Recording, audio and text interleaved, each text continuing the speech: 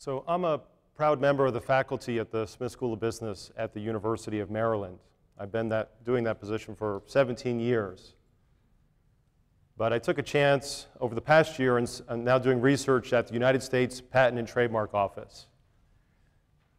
Uh, as much as I love my job, I'm exploring new and creative ways in which I'm working now with data and with looking at patents. And patents, as you may know, are a really important part to the level of innovation that we have. It's a way for us to share our thoughts and ideas and to put out into the public what our creative endeavors are. And if you take a look at the graph behind me, you'll see that patent activity has increased over time. In fact, we had a bit of a milestone a few weeks ago. In April 2015, patent number 9 million was issued. And this is quite an accomplishment. As you may know, patents are numbered sequentially based upon their issuance. And so we could go back and look at patent number one being issued in 1836 and recognize that patent number 2 million came out in about 18, uh, 1936. So a span of 100 years for 2 million patents. We've issued 2 million patents in less than the past 10 years. This is an incredible change in the rate of innovation that's all around us. And because I haven't forgotten about my roots at the University of Maryland, I often think about what we're doing in education to help support this creative endeavor. In fact, even if we just take a look at the types of innovations that are going on in our classrooms, would it actually even follow this curve? Would it potentially, unfortunately, be decreasing? So when I was a rookie professor, I was 28 years old, and I was thrust into the graduate classroom. And I was asked to teach students that were about my same age. And the picture that I had in my mind of that experience is something that looks like this. And this picture from the movie The Paper Chase has a professor in the center of the room, the focus of attention, all eyes are on them. And while this is an incredibly, I would say, selfish experience, the thought that people are paying attention to the professor the way many of, all of you are paying attention to me, thank you for that.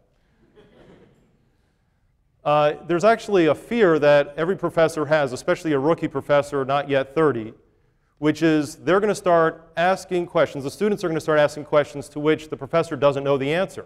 The professor's job, of course, I thought, was to take what was in his or her brain and impart it on the students.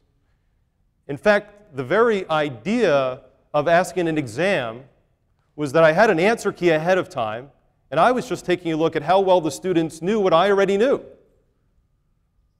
And that's helping us understand, let's say, innovation from patent number 9 million and before, but what are we doing then to help people who are creating and designing beyond that? Was I open to the possibility of them answering, question, answering the questions that I prompted in new and different ways. And would I give them credit for or I mark them down? So if you think about the creative endeavor, is it happening in the classroom? And perhaps our classroom experience has become this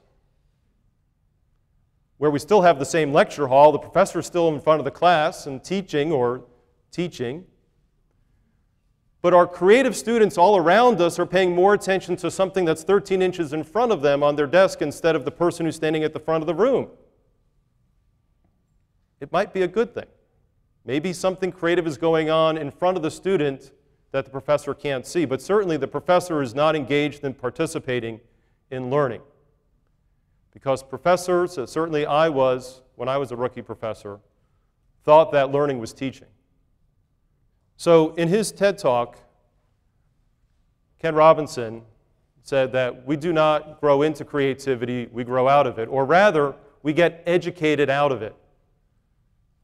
I couldn't agree more. I know I was doing my part to help educate students out of creativity. But for me, something happened. I was very lucky. A little over seven years ago, I was moved into a learning community at the University of Maryland called Quest. And these have some of the most fantastic students that you can imagine. They come from engineering and business and science, and they come together and they form teams and they create and they learn. And their classroom looks something that's more like this. Where's the professor? Not there, right? Where are the laptops? Not there. What's happening is that the students in this Quest program are starting to recognize creativity in their peers, and they're amplifying it, and they're making it special. And I knew very early on when I joined this program that there was no way that my teaching style was going to be conducive to learning because these were students who were creating and designing and innovating and supporting each other, who were exposing their vulnerabilities. And of course, my vulnerability up until this point was that someone was going to ask me a question that I didn't know the answer to. But these people were asking questions of each other all the time. And they were the ones who were helping drive innovation. So one of the first things they did was they gave me this t-shirt. Said, take off the bow tie, get on the bus, and go to orientation with members of this cohort. And I started recognizing that I became liberated from all these things that I thought being a professor was all about. It's not being teaching. It's about participating in a learning process, about providing stewardship over that learning opportunity. It's a great opportunity. Frankly, it's incredibly fun. And I had taken the fun out of it because I was trying to expect students to learn things that I already knew. So I'm very thankful to my students that they helped reinvigorate my academic career and make this happen. And I'm very optimistic that we can do a better job of allowing the creative process to happen in our education system. But something's got to change. And I think for me, the model of education that has changed has moved from something that becomes a push system, whereby we're ramming in content, filling the pipeline that exists between us and our students, potentially on purpose, because the more we cram, the less likely it is they're going to use exploration and creativity to ask us things we don't know the answer to.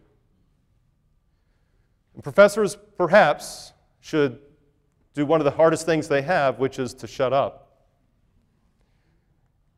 And allow the students to sit there and be on the receiving end and start asking questions.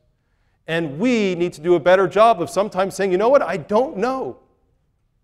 I know you think I should know. I've got all these degrees, I've got all this experience, but I can only teach you what's been done before. I can't help answer that question. And that's an important question, and that question is something that's going to drive our innovation forward. So I'm very optimistic about what can be done. And it's not about completely technology, it's not completely about the students, it's not completely about our faculty, but it's a system-wide thing that we need to think about. And I think that thinking about the opportunities for pulling content could help us. Because certainly if we're so busy pushing stuff that they can't allow creativity, and we need to amplify creativity, just as those Quest students did, and just as I try to do now. So when I think back that, to the quote from Ken Robinson, and I think about what we could be doing, that if in fact creativity could be educated out of us, maybe we can be educated back into it. I hope you think about doing your fair share. Thank you for this opportunity.